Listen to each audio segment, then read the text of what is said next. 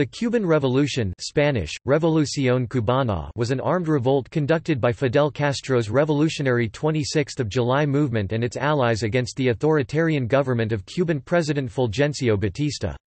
The revolution began in July 1953, and continued sporadically until the rebels finally ousted Batista on 31 December 1959, replacing his government with a revolutionary socialist state. The 26th of July 1959 is celebrated in Cuba as the Day of the Revolution. The 26th of July movement later reformed along communist lines, becoming the Communist Party in October 1965. The Cuban Revolution had powerful domestic and international repercussions. In particular, it transformed Cuba's relationship with the United States, although efforts to improve diplomatic relations have gained momentum in recent years. In the immediate aftermath of the revolution, Castro's government began a program of nationalization and political consolidation that transformed Cuba's economy and civil society. The revolution also heralded an era of Cuban intervention in foreign military conflicts, including the Angolan Civil War and the Nicaraguan Revolution. History In the decades following United States invasion of Cuba in 1898, and formal independence from the U.S. on May 20, 1902, Cuba experienced a period of significant instability, enduring a number of revolts, coups and a period of U.S. military occupation. Fulgencio Batista, a former soldier who had served as the elected president of Cuba from 1940 to 1944, became president for the second time in 1952, after seizing power in a military coup and cancelling the 1952 elections. Although Batista had been relatively progressive during his first term, in the 1950s he proved far more dictatorial and indifferent to popular concerns. While Cuba remained plagued by high unemployment and limited water infrastructure, Batista antagonized the population by forming lucrative links to organized crime and allowing American companies to dominate the Cuban economy, especially sugar cane plantations and other local resources. Although the U.S. armed and politically supported the Batista dictatorship, later U.S. presidents recognized its corruption and the justifiability of removing it. During his first term as president, Batista had not been supported by the Communist Party of Cuba, but during his second term he became strongly anti-communist. Batista developed a rather weak security bridge as an attempt to silence political opponents. In the months following the March 1952 coup, Fidel Castro, then a young lawyer and activist, petitioned for the overthrow of Batista, whom he accused of corruption and tyranny. However, Castro's constitutional arguments were rejected by the Cuban courts. After deciding that the Cuban regime could not be replaced through legal means, Castro resolved to launch an armed revolution. To this end, he and his brother Raúl founded a paramilitary organization known as the Movement stockpiling weapons and recruiting around 1,200 followers from Havana's disgruntled working class by the end of 1952. Batista was known as a corrupt leader as he constantly pampered himself with elegant foods and exotic women. Early stages Striking their first blow against the Batista government, Fidel and Raúl Castro gathered 69 movement fighters and planned a multi-pronged attack on several military installations. On 26 July 1953, the rebels attacked the Moncada barracks in Santiago and the barracks in Bayamo, only to be decisively defeated by government soldiers. It was hoped that the staged attack would spark a nationwide revolt against Batista's government. He had around 150 factory and farm workers. After an hour of fighting the rebel leader fled to the mountains. The exact number of rebels killed in the battle is debatable, however, in his autobiography, Fidel Castro claimed that nine were killed in the fighting, and an additional 56 were executed after being captured by the Batista government. Due to the government's large number of men, Hunt revised the number to be around 60 members taking the opportunity to flee to the mountains along with Castro. Among the dead was Abel Santamaria, Castro's second-in-command, who was imprisoned, tortured, and executed on the same day as the attack. Numerous key movement revolutionaries, including the Castro brothers, were captured shortly afterwards. In a highly political trial, Fidel spoke for nearly four hours in his defense, ending with the words, "'Condemn me, it does not matter. History will absolve me.' Castro's defense was based on nationalism, the representation and beneficial programs for the non-elite Cubans, and his patriotism and justice for the Cuban community. Fidel was sentenced to 15 years in the Presidio Modelo prison, located on Isla de Pinos, while Raúl was sentenced to 13 years. However, in 1955, under broad political pressure, the Batista government freed all political prisoners in Cuba, including the Moncada attackers. Fidel's Jesuit childhood teachers succeeded in persuading Batista to include Fidel and Raúl in the release. Soon, the Castro brothers joined with other exiles in Mexico to prepare for the overthrow of Batista, receiving training from Alberto Bayo, a leader of Republican forces in the Spanish Civil War. In June 1955, Fidel met the Argentine revolutionary Ernesto Che Guevara, who joined his cause. Raúl and Castro's chief advisor Ernesto aided the initiation of Batista's amnesty. The revolutionaries named themselves the 26th of July Movement, in reference to the date of their attack on the Moncada barracks in 1953. Guerrilla warfare The yacht Granma departed from Tuxpan, Veracruz, Mexico, on 25 November 1956, carrying the Castro brothers and 80 others including Ernesto Che Guevara and Camilo Cienfuegos, even though the yacht was only designed to accommodate 12 people with a maximum of 25. The yacht arrived in Cuba on 2 December. The boat landed in Playa Las Coloradas, in the municipality of Niquero, arriving two days later than planned because the boat was heavily loaded, unlike during the practice sailing runs. This dashed any hopes for a coordinated attack with the Llano wing of the movement. After arriving and exiting the ship, the band of rebels began to make their way into the Sierra Maestra Mountains, a range in southeastern Cuba. Three days after the trek began, Batista's army attacked and killed most of the Granma participants. While the exact number is disputed, no more than 20 of the original 82 men survived the initial encounters with the Cuban army and escaped into the Sierra Maestra Mountains. The group of survivors included Fidel and Raúl Castro, Che Guevara, and Camilo Cienfuegos. The dispersed survivors, alone or in small groups, wandered through the mountains, looking for each other. Eventually, the men would link up again, with the help of peasant sympathizers, and would form the core leadership of the guerrilla army.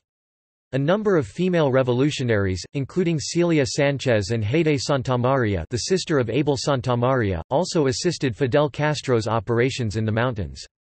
On 13 March 1957, a separate group of revolutionaries, the Anti-Communist Student Revolutionary Directorate ROAD Directorio Revolucionario Estudiantil, DRE, composed mostly of students, stormed the presidential palace in Havana, attempting to assassinate Batista and decapitate the government. The attack ended in utter failure. The RD's leader, student José Antonio Echeverría, died in a shootout with Batista's forces at the Havana radio station he had seized to spread the news of Batista's anticipated death. The handful of survivors included Dr. Humberto Castello who later became the Inspector General in the Escambray, Rolando Cubela and Fauré Chomón both later commandantes of the 13th of March movement, centered in the Escambray Mountains of Las Villas province. Thereafter, the United States imposed an economic embargo on the Cuban government and recalled its ambassador, weakening the government's mandate further. Batista's support among Cubans began to fade, with former supporters either joining the revolutionaries or distancing themselves from Batista.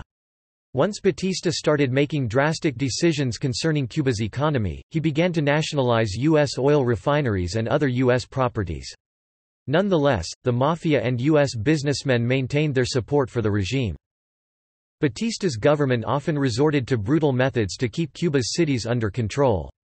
However, in the Sierra Maestra Mountains, Castro, aided by Frank País, Ramos Latour, Huber Matos, and many others, staged successful attacks on small garrisons of Batista's troops. In addition, poorly armed irregulars known as escopeteros harassed Batista's forces in the foothills and plains of Oriente province. The escopeteros also provided direct military support to Castro's main forces by protecting supply lines and by sharing intelligence. Ultimately, the mountains came under Castro's control. In addition to armed resistance, the rebels sought to use propaganda to their advantage.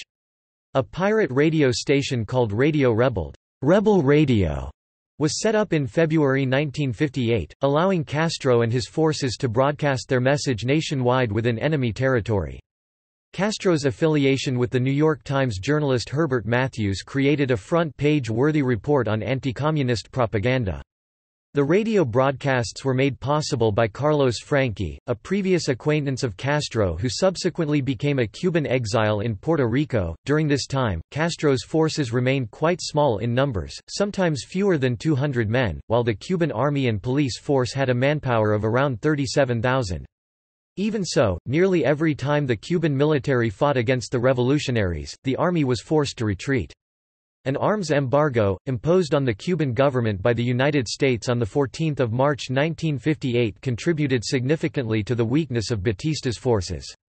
The Cuban Air Force rapidly deteriorated, it could not repair its airplanes without importing parts from the United States. Batista finally responded to Castro's efforts with an attack on the mountains called Operation Verano, known to the rebels as La Ofensiva. The army sent some 12,000 soldiers, half of them untrained recruits, into the mountains, along with his own brother Raúl. In a series of small skirmishes, Castro's determined guerrillas defeated the Cuban army. In the Battle of La Plata, which lasted from the 11th of July to the 21st of July 1958, Castro's forces defeated a 500-man battalion, capturing 240 men while losing just 3 of their own. However, the tide nearly turned on the 29th of July 1958 when Batista's troops almost destroyed Castro's small army of some 300 men at the Battle of Las Mercedes. With his forces pinned down by superior numbers, Castro asked for, and received, a temporary ceasefire on 1 August. Over the next seven days, while fruitless negotiations took place, Castro's forces gradually escaped from the trap. By the 8th of August, Castro's entire army had escaped back into the mountains, and Operation Verano had effectively ended in failure for the Batista government. Final offensive and rebel victory The enemy soldier in the Cuban example which at present concerns us, is the junior partner of the dictator, he is the man who gets the last crumb left by a long line of profiteers that begins in Wall Street and ends with him. He is disposed to defend his privileges, but he is disposed to defend them only to the degree that they are important to him. His salary and his pension are worth some suffering and some dangers, but they are never worth his life. If the price of maintaining them will cost it, he is better off giving them up, that is to say, withdrawing from the face of the guerrilla danger. On 21 August 1958, after the defeat of Batista's Ofensiva, Castro's forces began their own offensive. In the Oriente province in the area of the present-day provinces of Santiago de Cuba, Granma, Guantánamo and Holguín, Fidel Castro, Raúl Castro and Juan Almeida Bosque directed attacks on four fronts. Descending from the mountains with new weapons captured during the Ofensiva and smuggled in by plane, Castro's forces won a series of initial victories. Castro's major victory at Guisa, and the successful capture of several towns including Maffo, Contramaestre, and Central Oriente, brought the Cauto Plains under his control. Meanwhile, three rebel columns, under the command of Che Guevara, Camilo Cienfuegos and Jaime Vega, proceeded westward toward Santa Clara, the capital of Villa Clara province. Batista's forces ambushed and destroyed Jaime Vega's column, but the surviving two columns reached the central provinces, where they joined forces with several other resistance groups not under the command of Castro. When Che Guevara's column passed through the province of Las Villas, and specifically through the Escambray Mountains, where the anti-communist Revolutionary Directorate forces who became known as the 13th of March movement had been fighting Batista's army for many months, friction developed between the two groups of rebels. Nonetheless, the combined rebel army continued the offensive, and Cienfuegos won a key victory in the Battle of Yaguajay on 30 December 1958, earning him the nickname, the Hero of Yaguajay. On 31 December 1958, the Battle of Santa Clara took place in a scene of great confusion. The city of Santa Clara fell to the combined forces of Che Guevara, Cienfuegos, and Revolutionary Directorate rebels led by Comandantes Rolando Cubela, Juan El Mexicano, Abrahantes, and William Alexander Morgan. News of these defeats caused Batista to panic. He fled Cuba by air for the Dominican Republic just hours later on 1 January 1959.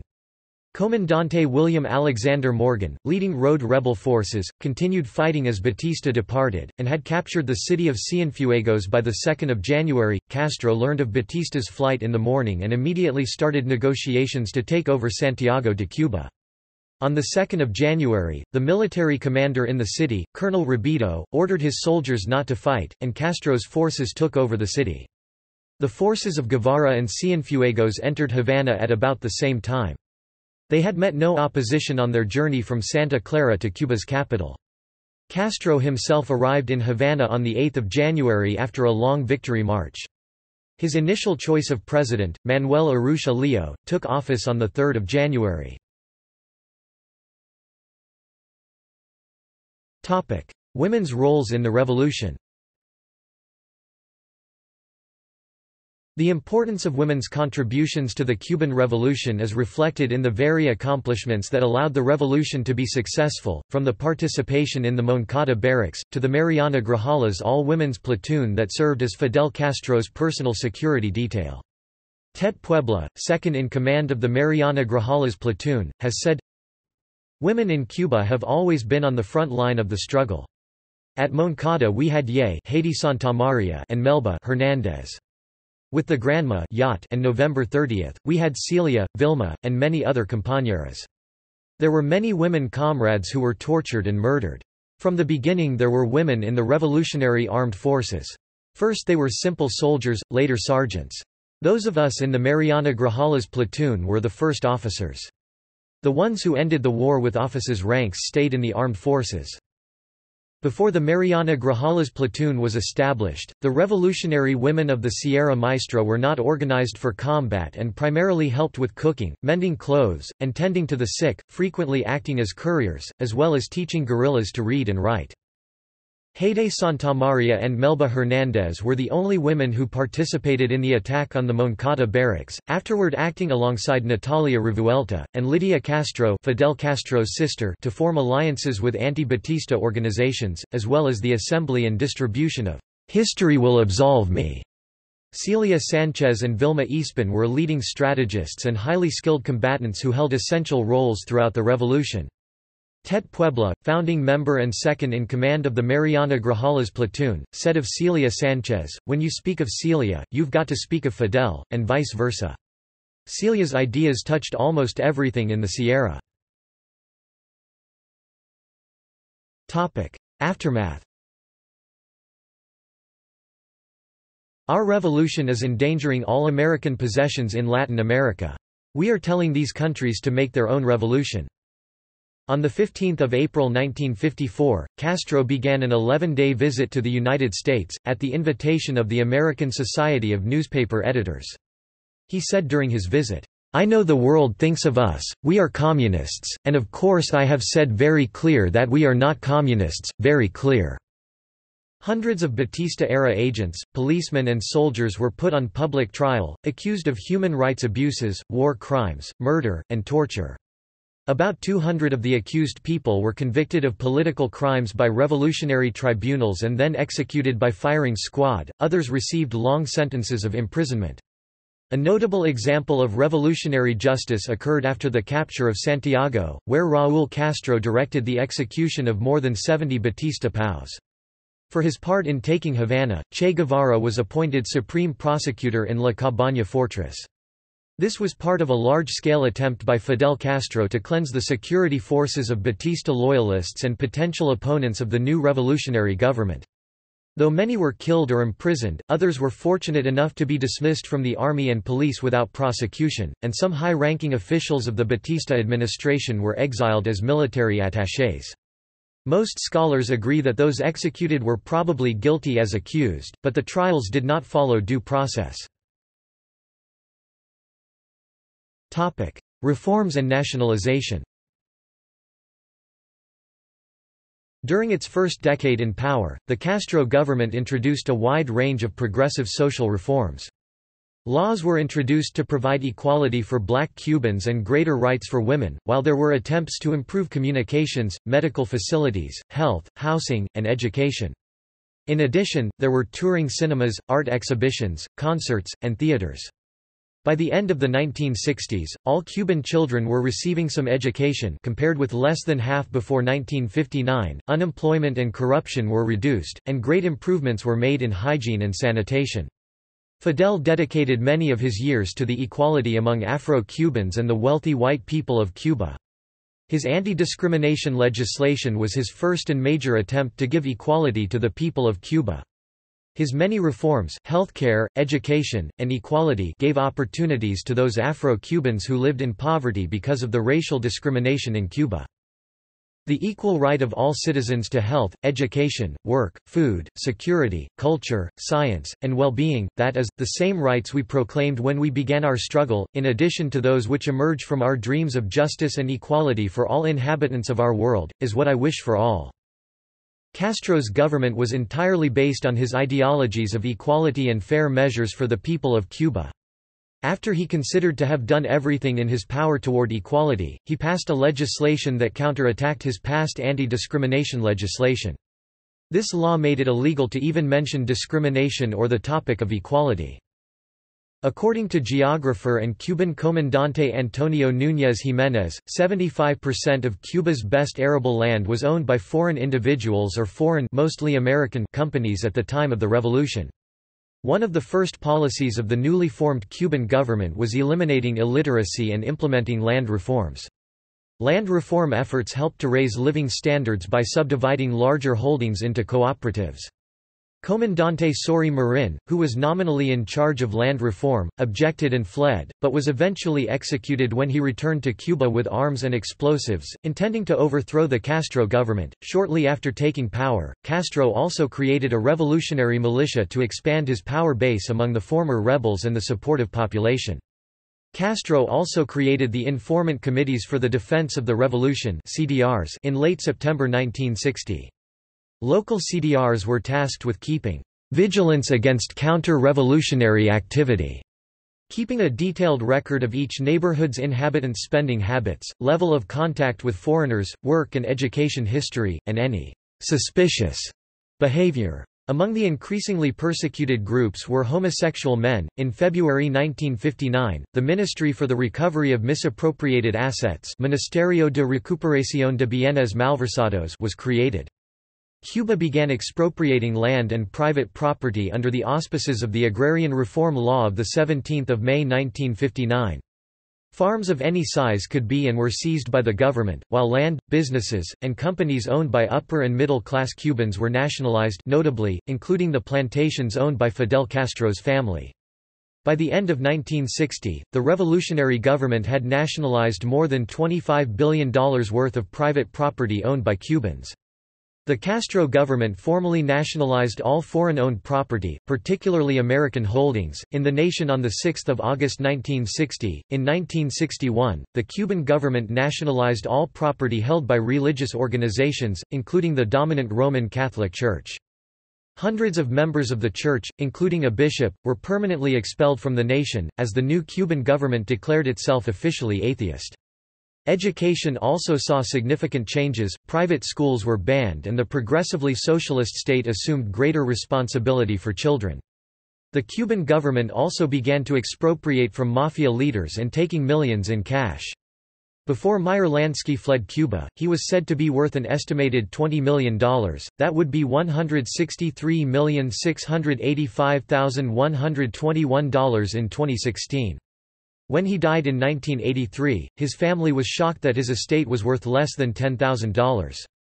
Before he died Lansky said Cuba ruined him. In July 1961, the Integrated Revolutionary Organizations (IRO) was formed by the merger of Fidel Castro's 26th of July movement, the People's Socialist Party led by Blas Roca, and the Revolutionary Directorate of the 13th of March led by Fauré Chomón.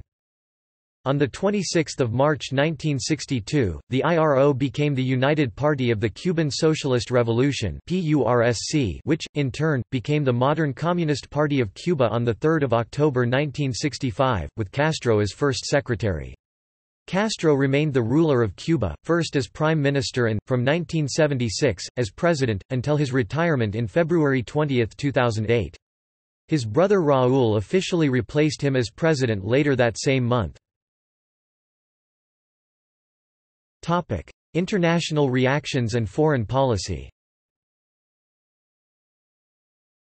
I believe that there is no country in the world, including the African regions, including any and all the countries under colonial domination, where economic colonization, humiliation and exploitation were worse than in Cuba, in part owing to my country's policies during the Batista regime. I believe that we created, built and manufactured the Castro movement out of whole cloth and without realizing it. I believe that the accumulation of these mistakes has jeopardized all of Latin America. The great aim of the Alliance for Progress is to reverse this unfortunate policy. This is one of the most, if not the most, important problems in America foreign policy. I can assure you that I have understood the Cubans. I approved the proclamation which Fidel Castro made in the Sierra Maestra, when he justifiably called for justice and especially yearned to rid Cuba of corruption. I will go even further, to some extent it is as though Batista was the incarnation of a number of sins on the part of the United States. Now we shall have to pay for those sins. In the matter of the Batista regime, I am in agreement with the first Cuban revolutionaries. The Cuban Revolution was a crucial turning point in U.S.-Cuban relations. Although the United States government was initially willing to recognize Castro's new government, it soon came to fear that communist insurgencies would spread through the nations of Latin America, as they had in Southeast Asia.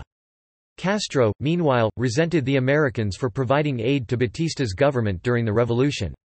After the revolutionary government nationalized all U.S. property in Cuba in August 1960, the American Eisenhower administration froze all Cuban assets on American soil, severed diplomatic ties and tightened its embargo of Cuba. The Key West Havana ferry shut down.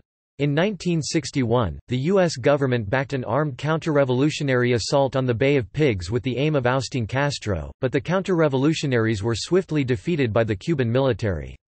The U.S. embargo against Cuba, the longest-lasting single foreign policy in American history, is still in force as of 2018, although it has undergone a partial loosening in recent years, although it was recently strengthened in 2017. The U.S.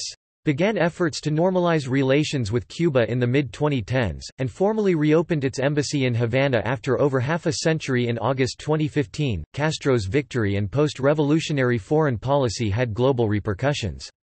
Influenced by the expansion of the Soviet Union into Europe after the 1917 Russian Revolution, Castro immediately sought to export his revolution to other countries in the Caribbean and beyond, sending weapons to Algerian rebels as early as 1960.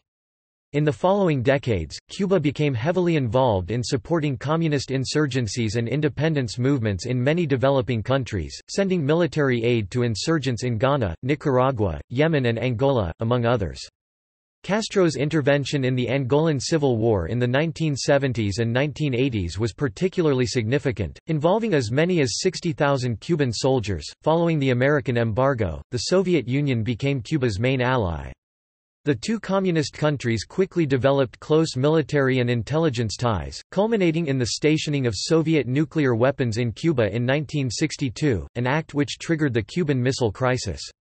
Cuba maintained close links to the Soviets until the Soviet Union's collapse in 1991.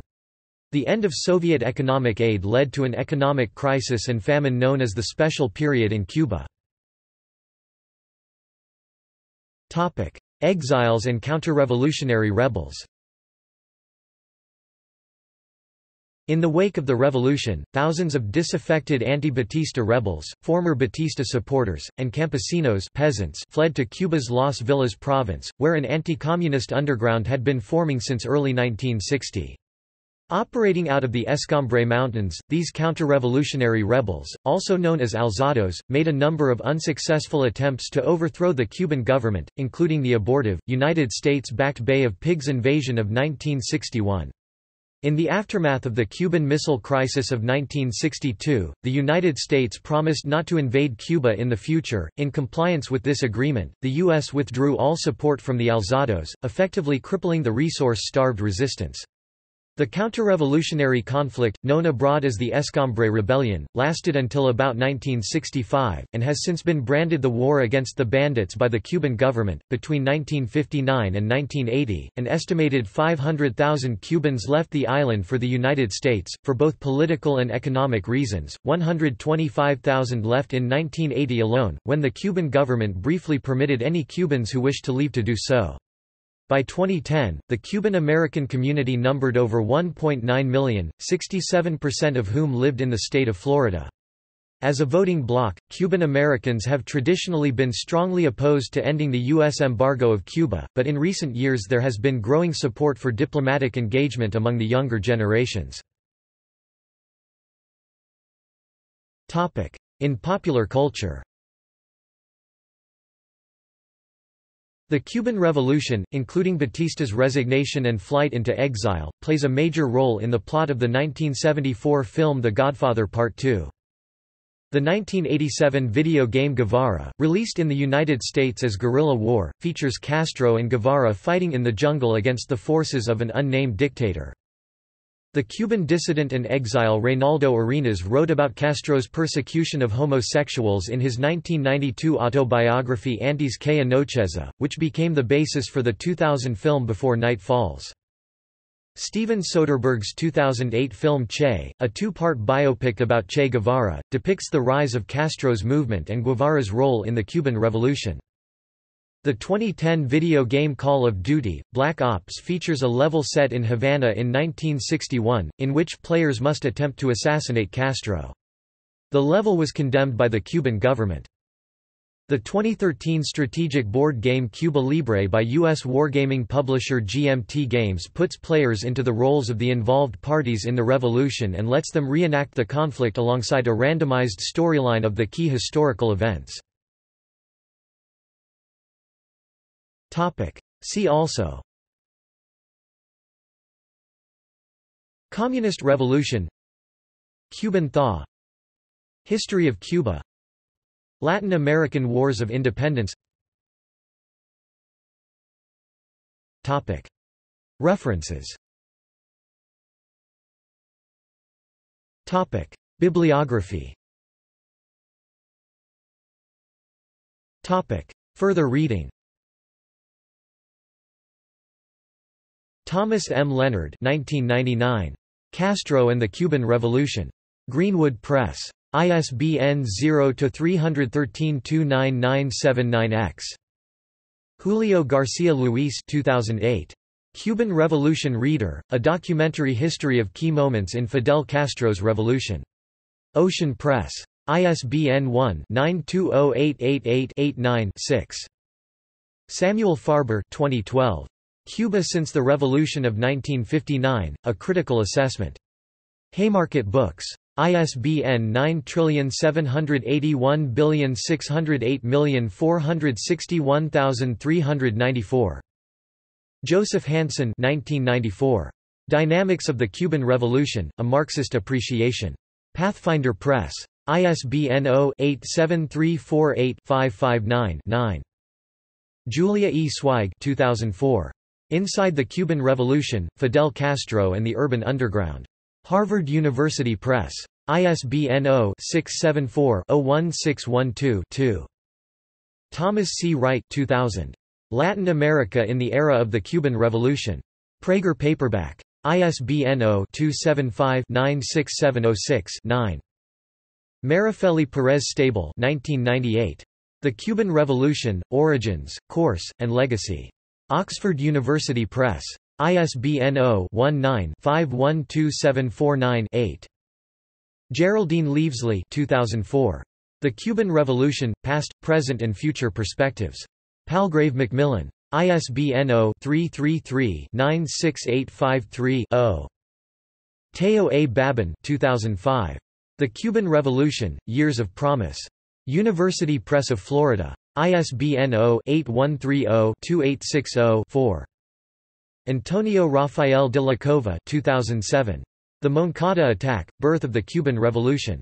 University of South Carolina Press. ISBN 1-57003-672-1. Samuel Farber 2006. The Origins of the Cuban Revolution Reconsidered. The University of North Carolina Press. ISBN 0-80785673-8.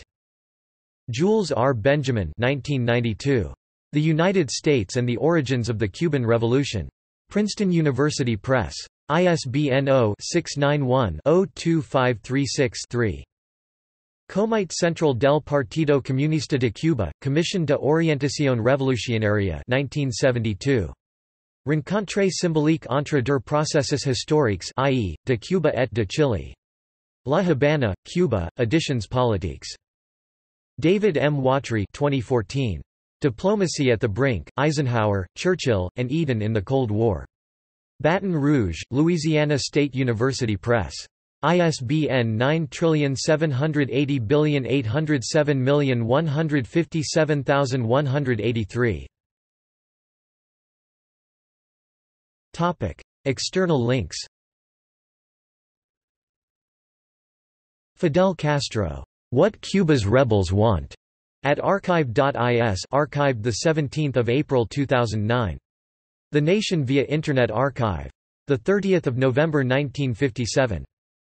The Cuban Revolution 1952 to 1958. Latin American Studies Organization. Michael Voss. Reliving Cuba's Revolution. BBC, the 29th of December 2008. The History of Socialist Revolution in Cuba 1953 to 1959. World History Archives. Arthur Brice. Memories of Boyhood in the Heat of the Cuban Revolution. CNN, 2009. 1959 to 2009, celebrating 50 years of the Cuban Revolution. Cuba Solidarity Campaign. A film clip, "'Castro Triumphs' Havana crowds hail success of revolt, 5 January 1959, 1959 is available at the Internet Archive.